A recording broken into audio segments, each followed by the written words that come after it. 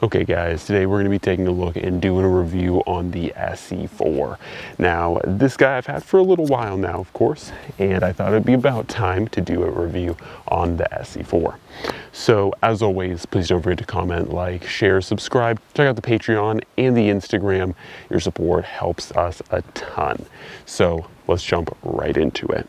Okay, so like I said, this is the ESEE 4, and I think this knife might have gotten or caught some people off guard because initially uh, when I got this blade, I didn't really like it. And I think that uh, I would say that this is a blade that I don't dislike, but that I think there are better options out there. Like if like if the only knife ESEE made was the ESEE 4, I would think this is a pretty solid knife. And don't get me wrong, I think it is a pretty overall well-built and well-made knife. But being that there are so many ESEE models out there, and moreover that I own so many ESEEs, uh, I just think that there are better blades in their selection that are more apt for uh, my tasks and my desires. Once again, knives like the ESEE 6 and the ESEE 3 I think are just better blades uh, than the ESEE 4. It's primarily because knives like the ESEE 3 are super thin and while it's just an inch smaller than the ESEE 4, it is a very slicey, very thin, and very easy to carry, almost neck knife like blade and is still of course very tough with its differential heat treat, its Rowen differential heat treat. And of course, stepping it up to the ESEE 6, you have a blade that is the same thickness as the ESEE 4, but of course, two inches blade length more and a different handle profile and of course, longer handle. And overall, I think it, probably the most well-rounded of all ESEEs being the ESEE 6. And so if I really did uh, want a blade or need a blade, that was gonna be a really good general purpose knife. The ESEE 6 is probably where I'm putting my money. That being said, like I've said in other videos, the ESEE 4 is kind of like the unofficial blade of SERE School. So this knife does have some merit to it. It is not all bad. It is a pretty solid blade. And uh, I think what a lot of people see in the ESEE 4, and once again, this is just my perspective of what other people's perspective is. So it's not me, you know, quoting truth or fact here.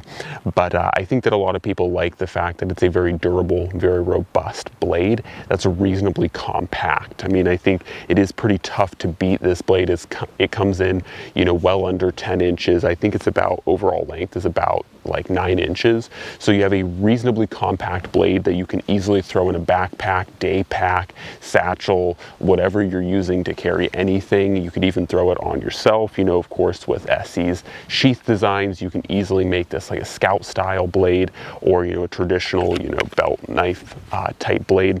So it can fit into a multitude of different roles. And like I said, being that it is that sub 10 inch range, it makes its carryability really high, but yet it still is a thicker blade. Once again, being closer to 3 16ths of an inch thick. I think it's uh, right around 530 seconds. I think a little bit more than 530 seconds, but right around uh, 530 seconds of an inch thick, which is a very good thickness. It makes any type of fixed blade very stout and robust, but at the same time too, not uh, turning it into a sharpened pry bar.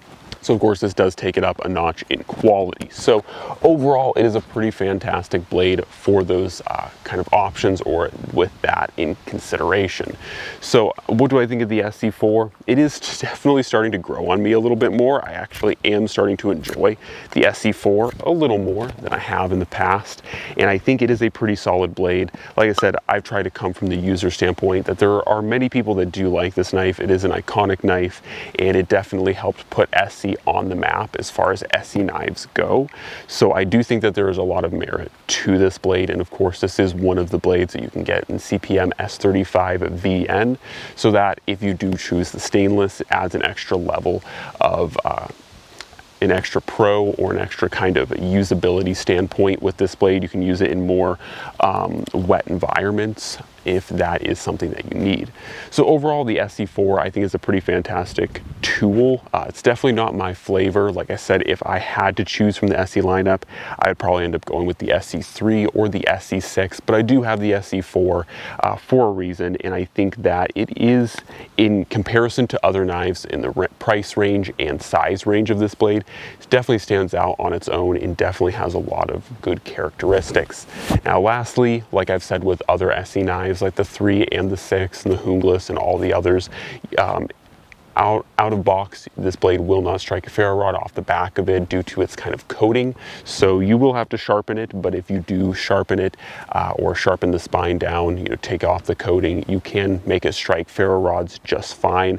Once again, that is usually something I do with most of my ESEEs just to add that extra layer of survivability function because I think most of these knives are designed for survival purposes. So they should be able to strike ferro rods in my opinion on the ESEE 4 is a pretty fantastic blade and if you are thinking about it I would recommend it uh, if with considering the fact that it is going to be a smaller blade uh, do keep in mind I would probably recommend the ESEE 6 over the ESEE 4, but it's not a bad blade option itself. Okay guys as always God bless and I'm out